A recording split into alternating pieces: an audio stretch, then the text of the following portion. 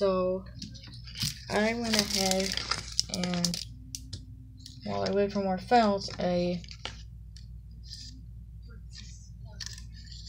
made this my paper bingo plush or just paper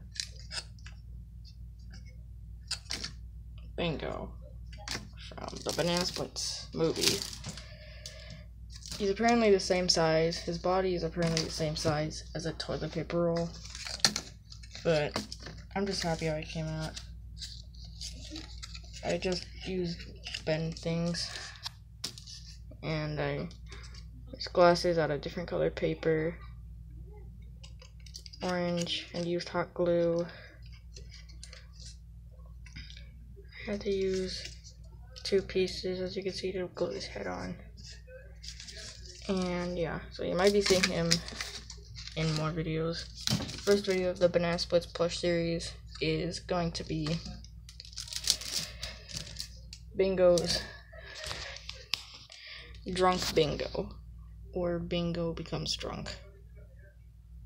But since I wanted to be kid friendly, I'm just gonna use Coke as his drunk thing.